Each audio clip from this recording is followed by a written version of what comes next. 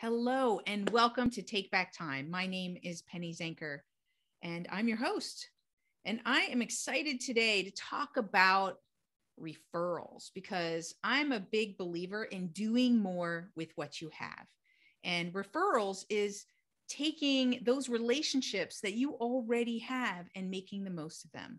And uh, I'm excited to have Edwin Dearborn with us today because he talks about referology and I talk about focusology. So we're in the ology group together.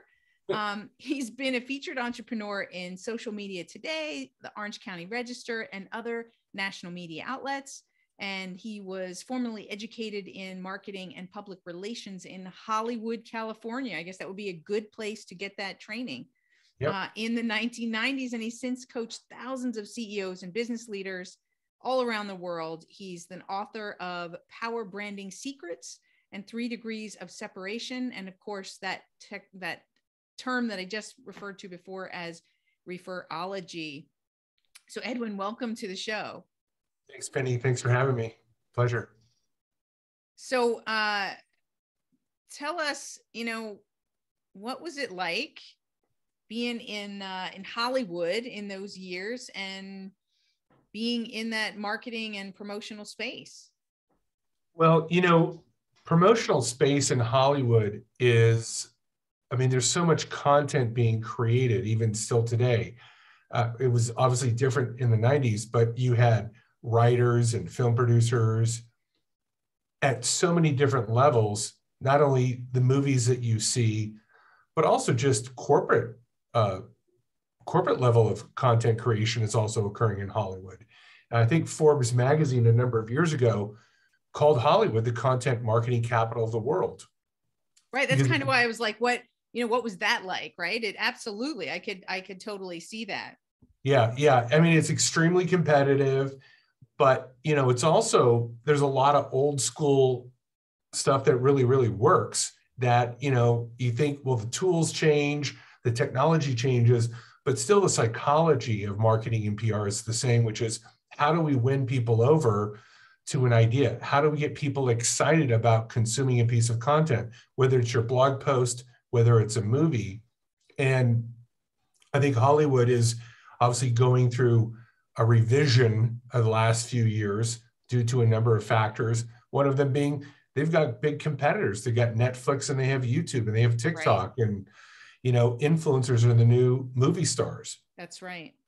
So uh, it but you know the principles are timeless and i think that's really what i was able to see is that no matter what you're promoting at what scale whether you're a local business with your iphone making little videos on tiktok or whether you're making feature films it's all about how do i engage an audience how do i get people to want to consume and talk about my product awesome so i want to want to gear that towards what we're going to talk about today which is around referrals yeah. Right. So, you know, it, it's, it's like, I think it's the easiest way to grow your business. Yeah. But people aren't doing it. I know. I like, know. Whoa, that just blows my mind. Like, oh, I don't want to bother people. Are they going to think that I'm selling or um, begging. pushy? I'm begging. I'm mm-hmm. desperate. Mm-hmm. You know, whatever. All of those things uh, uh, come around, or they're just they just don't have uh, a proper system. They ask once and and then or they don't ask right. So so before we talk about that though, what makes you passionate about this? I mean, you wrote a book about it. Why are you so passionate about that? I think during the lockdown, you know, I live in Las Vegas and we live on conventions. You know, people think it's about gambling that brings people to Vegas, but really what brings the most people to Vegas is conventions, business. Yeah. So for a matter of, you know, a half a year or so, we weren't doing that. We weren't meeting in person. So I took a look at it and go, well, I can't use that anymore to market. And I kind of came full circle to like, well, what's left? And what was left is what do I tap into my database? How do I leverage my connections on social media? How do I get other people talking about me at, at, at scale? And so you know I, I did a deep vi- deep dive i started reading books on the subject i went to amazon and i typed in you know best books on referrals i ordered them i started reading them i learned a lot of things reaffirmed a lot of things I already knew. But I think in the book, what I discuss is what I call the biggest blind spot in marketing. Ooh. And it's mm. Ooh. I want to tell you what the biggest blind spot in marketing. I just want to give some I don't have any music to put on, but uh, yeah, some Darth Vader music or something. Yeah. yeah. Um, All right. So what let me tell you what the blind spot is. Is that people do not believe that refer referring is a proactive strategy. They think that well, if I'm just good, you know, the referral should come, and there is some truth in that. Like you've got to be referable. Yes. You've got to be a. If you're a restaurant, you got to serve great food. It's got to be at the temperature it should be, and it should be delivered friendly, you know, in a friendly manner. But does that guarantee that people are going to talk about you? And the, and the answer is no. Mm-hmm. So when I ask people, do you love referrals? Everybody gets excited. I've never heard anybody, if I called you up and said, hey, hey, Penny, I have a referral for you, you wouldn't be going, oh man. Oh, I hate that. I hate referrals. So the tonality about referrals is very high commonly. Everybody loves referrals. Right. But then you ask, well, how do you generate them in a proactive manner? That's where the blind spot is. So, in my research and in my reading, I realized that there's actually four different types of referrals. And each one has a sub strategy to get more of those types of referrals. So, first of all, there's not all referrals are the same as referrals. Right. There's different types of them. And then in each type, there's different ways to instigate them. And um, it doesn't mean that when you instigate these actions that the referral will happen that day. But like anything else, if you keep doing the principles, you eventually get, you know, the apple will eventually grow on the tree if you keep planting seeds and nurturing the tree. Right. So, what are the four types? Help us just to get an overview. First one is what I call a soft referral. This is where somebody gives you a review on Yelp or Google My Business or tags you on a post in social media and talks about you. They're not referring people directly to you, like, here's my brother, mm-hmm. help him. What they are is they're speaking about you. kindly of you. And you and I know that any business that accumulates lots of reviews and lots of people tagging you on social media over and over and over, it has a cumulative effect and it ends up referring people. When I moved to Vegas five years ago, how did I find my favorite restaurants? I went to Yelp and I went, well, they've got a thousand positive reviews. So I'll try, I'll check it out. Those thousand people referred me in a soft way. Absolutely. So one of the ways that we can get more referrals is, and I've done this many times with practices and businesses, is I go, when you have a great experience, ask people, you know, did you like our service here? How, how did we do? And if they say something positive, we just ask them, would you be willing to say that online? Now, imagine if every time we served good food or we gave great dental service or great bookkeeping service. My gosh, you guys are incredible. Would you mind saying that online?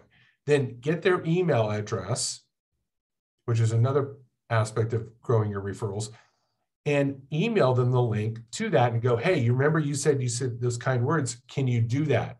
I did that with a dental practice, and we grew from 50 um, online reviews to 175 in less than a year just by implementing that policy. And guess what happened when they started getting more reviews on Google and Yelp? The phone calls started to come in yeah. more often. I found you on Google. Have to ask. People have to ask. So right. that's the first thing that we have to get over is it's okay to ask. And it's okay to ask for that win or that success story and then document that success story where other people are looking for that type of content, that user generated content. Moreover, right. you got their email send out good content every week. That makes you referable. I can't tell you how many times I've had people call me going, I get your emails. I don't read them all, but you're in my email every week. And I was thinking about doing some marketing. I was thinking about what you do, and now I want to engage. Or my brother, I've gotten some great referrals from my email database going, I love your stuff. I forwarded it to a good friend. He's going to reach out to you. Right. So stay in front of your past leads, stay in past in front of your past clientele. So I want to add something here that uh, you know I've found is is really important is you know timing is also everything. If somebody says to you, "Wow, this was a great meal," and you're at a restaurant, right? Then you know to be able to ask right then, they're in the referral, what I call referral state of mind, right? Yes. They're yes. in that referral state. So you know, get them, get them while they're hot, and say, "Well, you know, I like you said, you know, would you be able to do that? Whether you capture their email, whether you give them a QR code so they can go right to it. You know, there's so many different ways to make it easy for them, but but you have to also you have to ask at the right time and you have to make it easy for them, right? Yeah, and you have to make it a policy of, of your business. Like when you know we go to dental offices or bookkeeping offices or whoever we work with, it's like okay, now this is part of your duty, front office girl. When they they come out, you're going to ask this is now part of, it's not just something you do when you remember it. No, this is now part of your job task. You are now part of the marketing team. We're going to ask you and we're going to require of you that if you can generate two positive reviews every week, well, the cumulative effect in a year is going to be massive. Right. I mean, I have one client uh, in um, Santa Ana, California, and we kept getting more and more reviews. After two years, we look, took all the business we got from Yelp. Each review was worth $5,000 in annual business. Wow. Yeah. We yeah. just took the amount of money she made from Yelp, divided by the number of positive reviews, and every review had a cumulative effect of $5,000 in new revenue. That's a soft referral. Number two, I call the direct referral. And this is why the email list and getting people to follow you is so important. The direct referral is, hey, Penny, I know a great restaurant here in Las Vegas. Let's go to that restaurant. I'm going to take you there. Right. Okay. So how do how does that restaurant or any business get me to talk about you directly?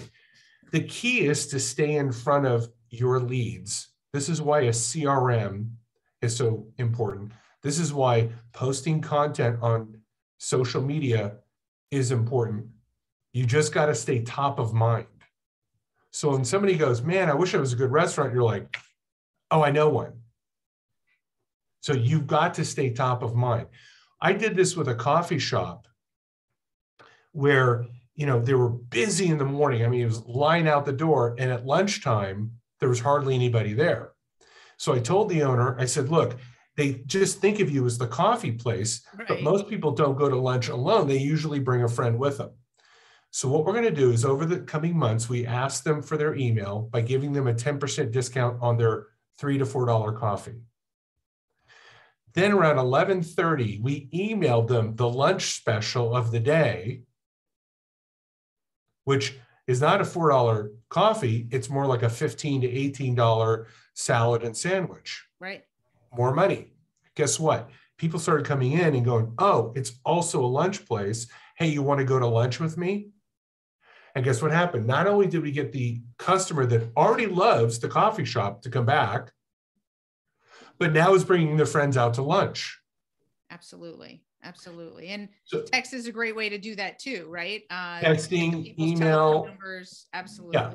Follow us on Instagram. And if you just keep communicating, good content, funny content, whatever content makes sense to you, you've got to stay in front of your database. What there was a study done on why people leave one brand to go to another brand. They go from brand A to brand B. Why did they make the move? And the study found that brand A was indifferent to their past clientele and they just were out of sight. So they decided to choose B, not because they were upset with brand A, they just forgot about brand A and they move to another brand. So just because they buy from you once doesn't mean they're going to buy from you again or refer to you. You've got to stay in front of your database, your followers, and your past clients. This is why a CRM and automating your social media to your database is so critical. And there's great tools to do that with.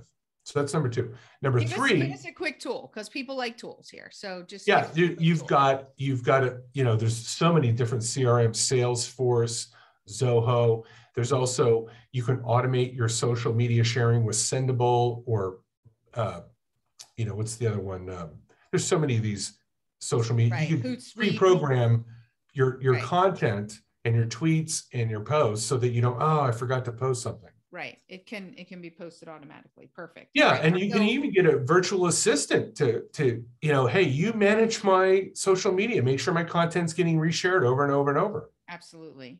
Yeah. For for just a couple of hours a month, right? You can have somebody to set that up and make sure that it it happens. That's right.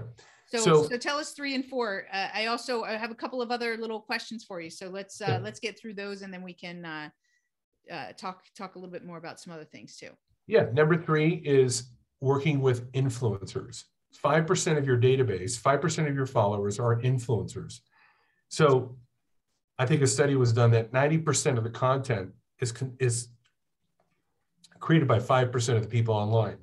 Find those five people and figure out how you can work with them. And and the only the best way I found is, hey, are you active on social media? And if they're really active on social media, they're going to tell you how active they are on social media. And then you come up with bright ideas of how to collaborate with influencers.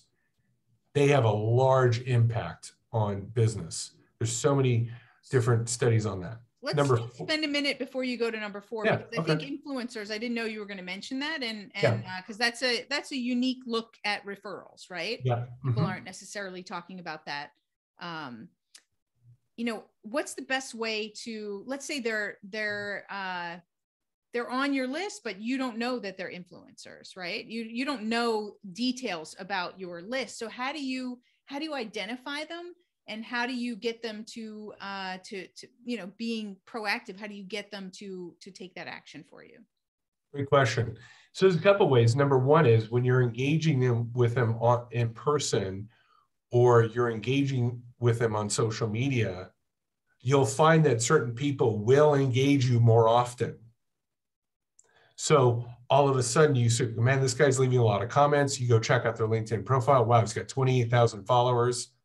He's he's active on social media. He's Mhm. engaged. I wonder how I could maybe work. Maybe I could interview him on my podcast maybe we could co-write a blog post you know you just have to get bright on what would make sense to work with that individual this is where i find a lot of guests for my own podcast who's engaging with me who's got large followers and all of a sudden i've got now guests and i create a i create a podcast with them and now they're sharing it to their 28000 followers hence you know like why are you getting more followers because i'm working with influencers right uh, so it could it could go it, and then it can go to the next step, which is four, which is now I've got a formal co-branding relationship.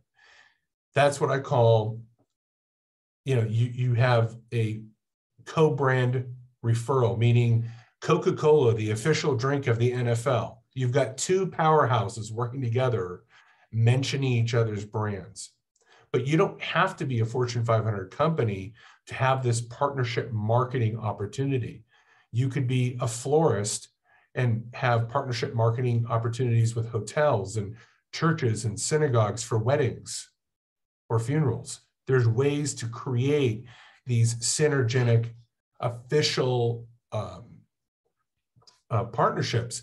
I work with a bookkeeping company, you know, where they're their official bookkeeping resource for some consulting groups who go out and consult doctors. So they see a doctor with financial problems. They're like, we've got a good bookkeeper. They're our official bookkeeper. right See- partnerships are huge i think Huge. I don't know why people don't because it's all about leverage, right? Referrals are about leverage and Yeah. partnerships are leverage, right? I mean, it's obviously it's part of referral, but um, it's just you can you're tapping into someone else's uh, workforce so that they become your workforce, right? That's so powerful. Yeah, and you can package your services together. You can, I mean, you- this is can get really creative. This is obviously kind of at a higher strategic level than most small businesses think about, but nonetheless, But that's working smarter, and they, That's- they absolutely would benefit and go a lot further faster with uh, stepping back and looking at strategic partnerships through you know maybe little partnerships that aren't really partnerships Exactly. Now imagine you take any business that's doing fairly well, and all of a sudden now you take referral source number one, soft referrals, and you get another 100 to 200 reviews per year. Number two, you really work your CRM, texting, email, phone calling, staying in front of your database, seeing how you can serve them. Obviously, you're going to get more referrals that way. Number three, you identify influencers you work with them, even if it's just one a week, one mm-hmm. different one a week in some way. They tag you on Facebook, they talk about you on TikTok, whatever they're into. And number four, you develop a handful of strategic partnerships, just two or three a year. Over a number of five to 10 years, if you kept doing all that, what would happen to your brand? You'd have referrals just come. Oh, I've heard about you. I've seen people tag you on social media. I've seen your reviews. I saw you on a podcast with this other guest. See, that's the modern word of mouth. Absolutely. I, I love it. I love it uh, because I'm all about leverage. And as I said, you know, doing more with what you have. There's so much that we are sitting on that in the pandemic and and even in general, right? There's this this um the the bias to go for the new thing, that to to go for the new client, to you know put all of our resources, our energy, and our money looking for that uh, new client that we've got no connection to, why not look at the existing base that we have? I, I forget the percentages uh, off the top of my head, but the percentages of people who come from referrals that close, they close like 50, 50% more and yeah. faster than and they spend more. And they spend more, right? So it's like, well, duh, you know, it just is logical to uh, to to spend more time and energy with that as a as a core strategy. So 2022 you guys are listening out there you're entrepreneurs you're running your business you're in sales. Uh, this is a core strategy that you want to look at as to how you can grow your business by looking at your existing uh, customer base your existing network uh, you know that is going to be a, huge benefit for you when you just take it to the to, to the deeper right? Is we just we're so surface level in so many different areas. And so if we just take it take the one strategy and go deeper versus having five or six or seven or eight right that people are doing and spreading themselves too thin just go deeper into this one. Absolutely. Yeah the money's in the list. If you have a database and you have a set of followers in there are opportunities absolutely so, what's your definition of productivity and why? I think productivity is achieving the maximum amount of output with the least amount of stress and inefficiency. Because productivity, you can be productive, but exhausted and stressed out. And then do, do you feel productive? Right. Oh, I did a lot. Yeah, but you're, you know, you don't look healthy.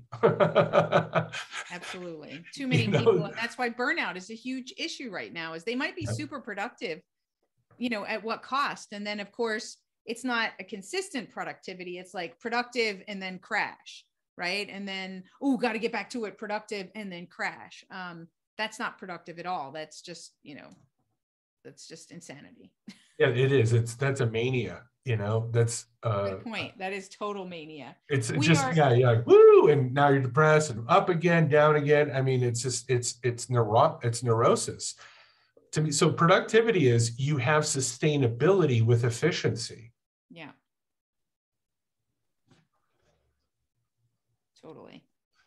So you know our time goes so fast together. So we're, we're coming to the end of our yeah. of our show. Um what didn't I ask you that you feel is important for the the listeners to to hear or to know? I think that this is a topic worth studying, not just my book, which you can get for free, uh, referology, and uh, and just go to brandedshareables.com. That's brandedshareables.com. And there's a link there, Referology. You download the book, it's absolutely free. I also mentioned several other books in my ebook. So I believe that if you spend time, you know, we get what we focus on. Why not focus on referrals? What a great way to grow your business.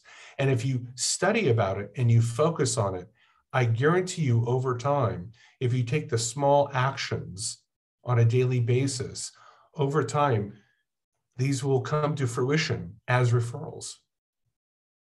Absolutely. So, what just to give people some things that they could, some uh, key performance indicators that they could set, uh, you know, for this year to to make referrals one of their focuses? What would what would uh, two or three of those uh, key performance indicators around referrals be?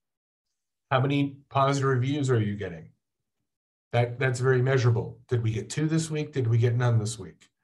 So set that, a number, so right? Set a number a, to say. Let's set a number. Let's get two, right. and over a year we'll get 104 positive reviews on Google and Yelp. Great.